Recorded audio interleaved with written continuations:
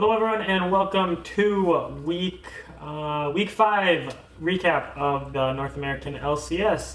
Uh, this past week was very interesting. We had a lot of big games that I was talking about last week, and it was exciting to see some of them come out. We had some big upsets. Golden Guardians is coming up on those bottom teams and just killing it. And yeah, so we'll just get right into it. So the in first place we got Echo Fox. So this weekend they went 2-0, so they had their first game against 100 Thieves, which 100 Thieves is still looking rough. Uh, they're just going on a downwards trend. They're now five and five, so this isn't a big win for Echo Fox or anything. But their big game was on Sunday against Cloud9, where they had a struggling.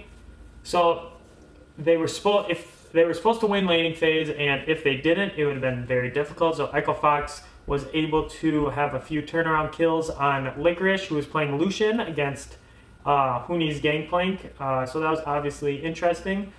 But uh, yeah, that's about all I gotta say about that. It was a good game, but Echo Fox was just the better team on Sunday. Moving on to Cloud9, who's in sole second place, going 8 and 2. Uh, they played TSM on Saturday, which was actually a pretty close game. TSM looked better than usual, and Cloud9 looked a little confused sometimes of what to exactly do.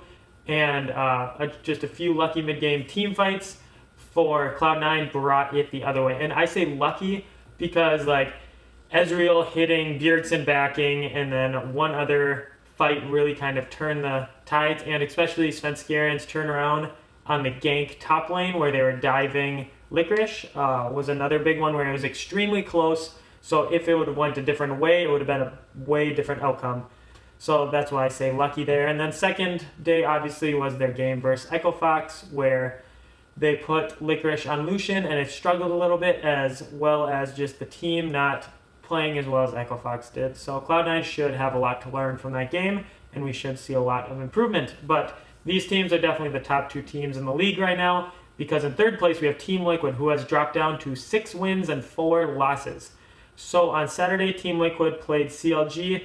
Um, this was another good game. CLG showed some promise uh, in their early game, but it was just overall win. Uh, Doublelift played extremely well. Doublelift still, I think, might be the leader in the least deaths category of this spring season, so that's exciting.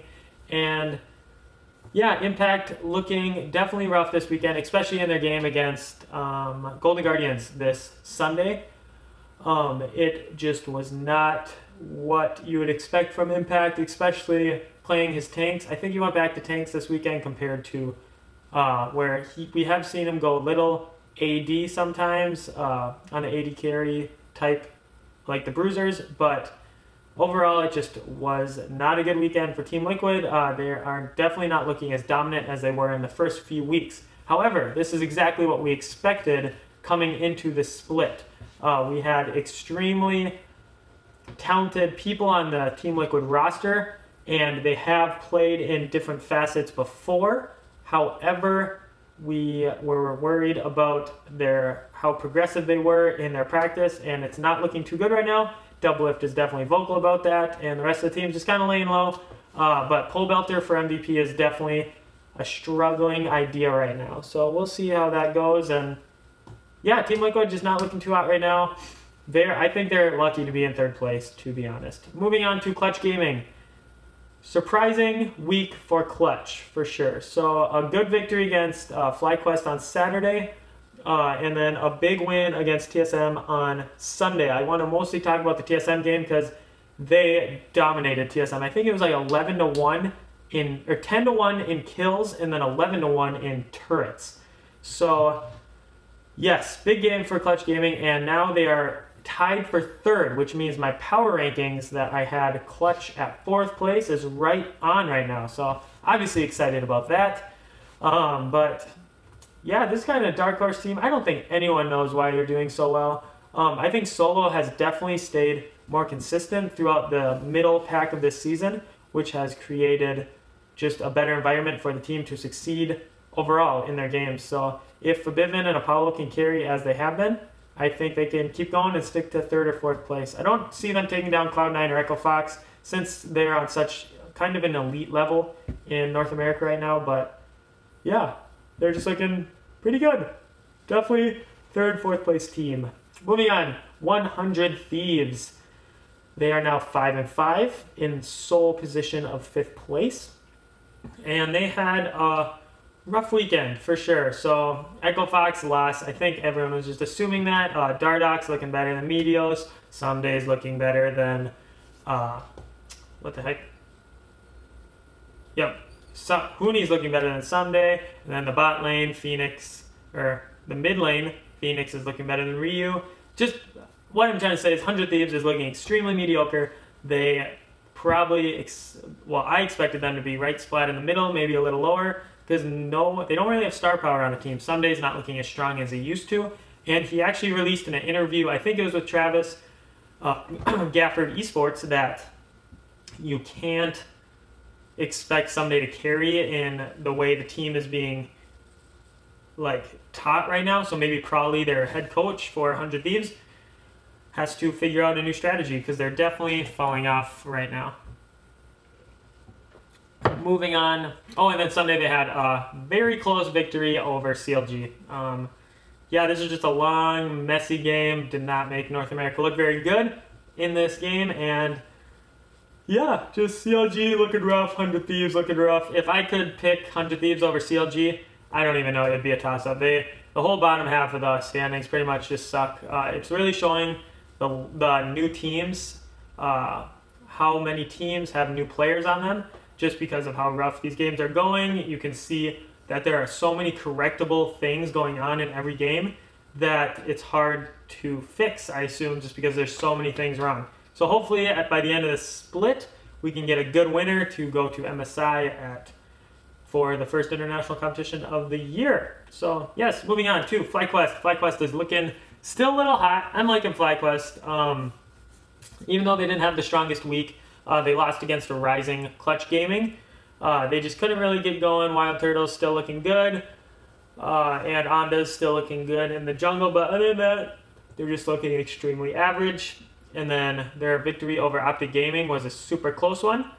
And yeah, it was pretty crazy. It got down to like the last few hits on the Nexus. And yeah, if you missed the FlyQuest versus Optic Gaming, which is the last uh, the last game of the season, or the last game of on Sunday, you should definitely check it out. Moving on to TSM, tied for sixth place. They are four and six. They had a tight game versus Cloud9 and then got stomped versus Clutch Gaming. Not too much to talk about with this TSM team anymore. Nobody cares about them. They kind of suck. And they're not fun to watch. So, yeah. I don't know too much to talk about TSM. We might touch a little bit more next uh, next week on them. Because I Zven and Mithy are just... The late game carries that they're trying to be is not what TSM needs right now. They need some proactivity, which MikeYeung is not giving. He MikeYeung has the second most deaths in the league. And yeah, also Jatt, Jatt stats, if you check out the pregame, like the NALCS countdown before it starts on Saturday and Sunday, uh, Jatt talked about that TSM has the most time, like the most minutes this season in the lead.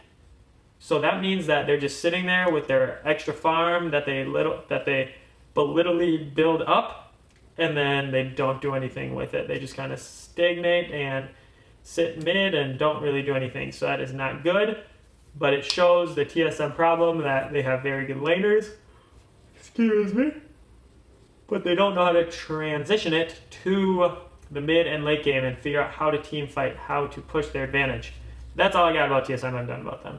Optic Gaming still looking rough. PowerOfEvil and Arrow are doing their best to carry this team. Zig is actually looking a little hotter, but Optic has had a few close games, but they just couldn't pull them out. Um, they did win this past season or this past Saturday. However, they're just not looking too great. So, yeah, Optic Optic is a weird team too. Optic is just like TSM for me. They're just kind of long, boring games that are hard to watch and hard for not a prof- or like a non-professional analyst to kind of figure out. Moving on to CLG, they are three and seven, and they are tied for eighth place with Optic Gaming. They are on definitely a downward trend. I think they're getting worse and worse every week. Uh, they had their losses versus Team Liquid and 100 Thieves this past weekend, and they're not getting too much done. Besides their early proactivity with Reignover kind of getting these games in his head and like memorizing plays, they don't really do much more than that. So yeah, Darshan is looking a little too hypey, like I said, and if he gets a lead, he just kind of throws it. Stixxay definitely had another positioning, or several positioning errors these past two games this weekend, so that was not good to see that return. And yeah, Huhi's just kind of constantly in the middle, doing the best he can, honestly. Biofrost not looking too bad either, but just kind of looking quiet, uh, like some people fear of Biofrost. So overall, Biofrost might need to be a little more engage heavy. Stixxay doesn't know where he needs to be, and Reignover only knows what to do in that early game. That is all I got about CLG. Moving on to Golden Guardians. They got their second win of the season against Team Liquid, which is actually huge. So this dropped because you would have assumed that Team Liquid would be seven and three at least by the end of this. Uh, or except you would assume that they were seven and three, which would be one game behind Cloud Nine. However, with this loss against Golden Guardians, they actually dropped to tied with Clutch Gaming, one game away from 100 Thieves, and two games away from FlyQuest and TSM. So that means third, all the way through eighth place is the difference of two, one, two, or three games. So this is pretty nuts. Uh, the playoff run is going to be very intense. We could see teams like CLG, TSM, FlyQuest not making playoffs. Um, so yeah, should be very interesting. But overall, Golden Guardians, Lourlo went off this past weekend. And yeah, Lourlo's looking hot. He looks very excited after the game, so that's just good to see, and I hope to see more wins from Golden Guardians. Uh, yes, that is all I got for this week. We'll check out. Oh, we got a big game. We got uh, Echo Fox has a. You would assume hard split, or you would assume a hard schedule but with recent strength, it might be a little different. So Echo Fox is playing TSM and Team Liquid. So you would assume right off the bat, you think, man, that's a hard weekend. But Team Liquid's looking a little rough, and TSM's looking extremely rough. So this might be an easy 2-0 this weekend if they can't do anything. But I would like to see another Echo Fox game like TSM's this past time where they just kind of trashed on them uh, early game, and then Echo Fox came back because that was exciting. And yeah, the Team Liquid time, I don't think that was too much of an exciting game. I think Team Liquid just stomped. But yeah, I think what else is going to be interesting? Clutch Gaming, Cloud9. Cloud9's looking hot. If Clutch Gaming can win against Cloud9, that would be huge for morale. And TSM versus Optic Gaming. Honestly, all these games are so good. These uh, little summary of just this whole season. This has been a very close season, even though it hasn't shown very good play uh, from North America. The games have been super close, and I personally think they've been super interesting. There's been some backlash on social medias about just how boring and long the games can be, but I think they're all right, and uh, I just like how close they are and how some of the old veteran teams are kind of getting challenged this season. So yeah, I look forward to doing another video. I don't think I'm going to drop any videos this week. Don't have any good ideas. So just look for the recap for next week. Town to town, from London to Taiwan. I've been all around the globe trying to protect your soul.